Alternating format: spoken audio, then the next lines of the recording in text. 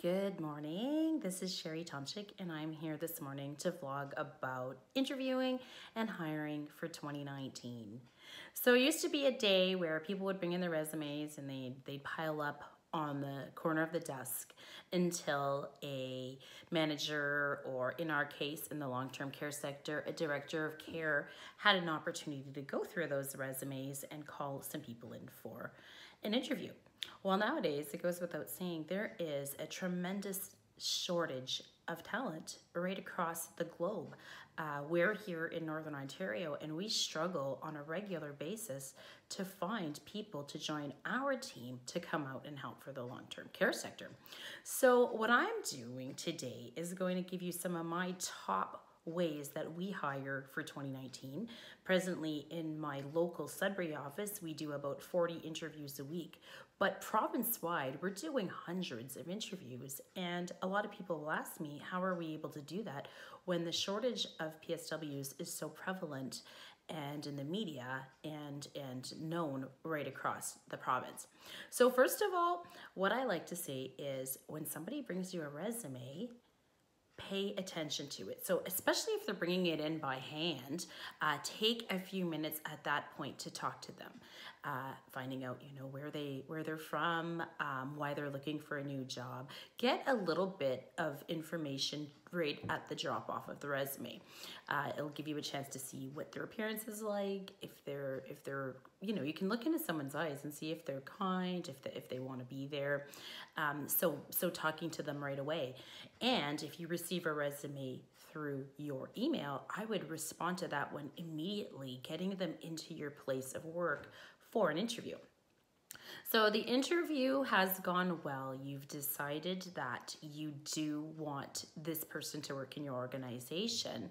Now, we need to do our due diligence, and so I'm going to talk a lot about long term care for this next one, but really in any sector, we want to make sure that we're getting the best people for the job. And this this is directly related to the references. So once you are complete um, or you have completed your interview, make sure to get to those references immediately.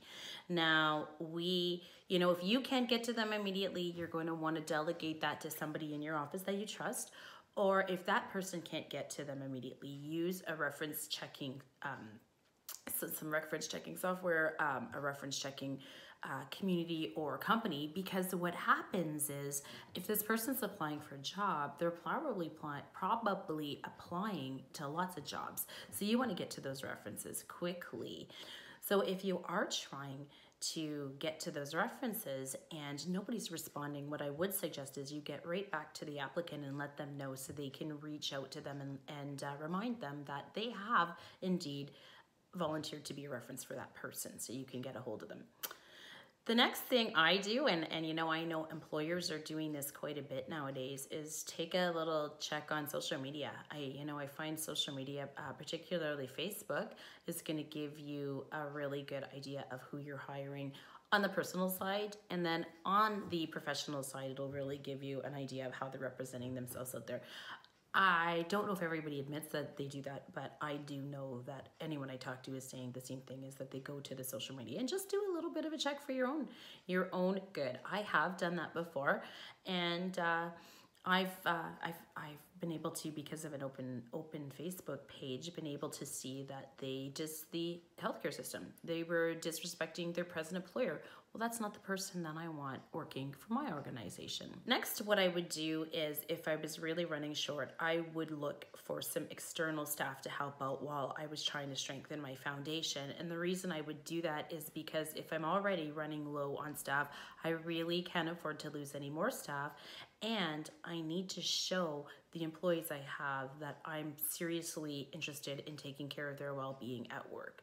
So making sure that you do have a backup plan. And then lastly, I would really engage my employees on what we can do collectively to increase the amount of people that are applying for our organization. So asking them to tell their friends, um, sharing job job ads, listening to the employees. Why don't they like working there? Maybe there are things that you can work on internally to fix together so that you can attract more people.